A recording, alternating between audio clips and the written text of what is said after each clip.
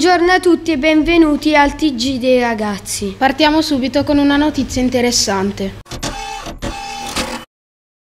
Parliamo di una scoperta che ha incantato gli esperti di arte e fatto felice gli abitanti di Nese, ad Alzano Lombardo. Durante i lavori di recupero dell'antica chiesetta del paese è affiorato un affresco attribuito al famoso pittore Carlo Ceresa. L'affresco è dedicato alle anime del purgatorio. L'orto botanico di Bergamo è sempre più apprezzato. Nel 2018 sono stati 65.000 i visitatori delle tre aree verdi che compongono l'orto. Fra loro 7.000 studenti non solo delle scuole di Bergamo ma anche di quelle di Brescia, Milano, Mantova e Sondrio.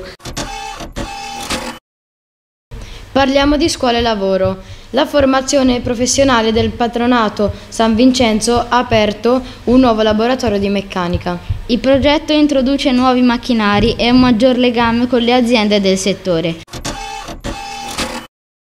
Grande festa a Redona perché il quartiere ha finalmente il suo oratorio. Gli spazi sono stati completamente rinnovati e vi ospitano il bar, i saloni, le aule e il nuovo campo di calcio con erba sintetica. Ascoltiamo le interviste agli abitanti del quartiere che aspettavano questo nuovo oratorio da tanto tempo. Ah, qui a Redona ci voleva, ci voleva che mancava, era un po' strettino, vedi quante persone. Eh.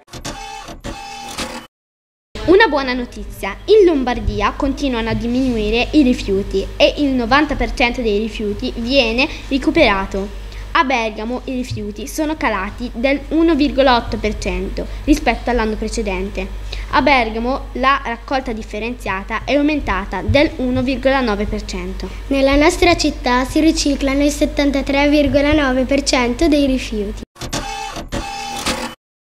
Purtroppo non saranno fatti a breve i lavori per migliorare la sicurezza della rotonda dell'autostrada.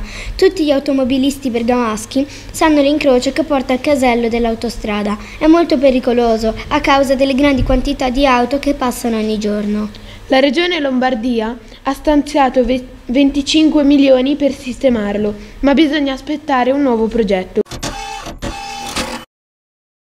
Il progetto di restyling dello stadio di Bergamo ha avuto via libera. Ai primi di maggio si aprirà il cantiere per l'abbattimento e la ricostruzione della curva nord. È il primo passo del piano triennale di lavori previsto. Per questo l'Atalanta dovrà giocare altrove le due ultime partite casalinghe di questo campionato.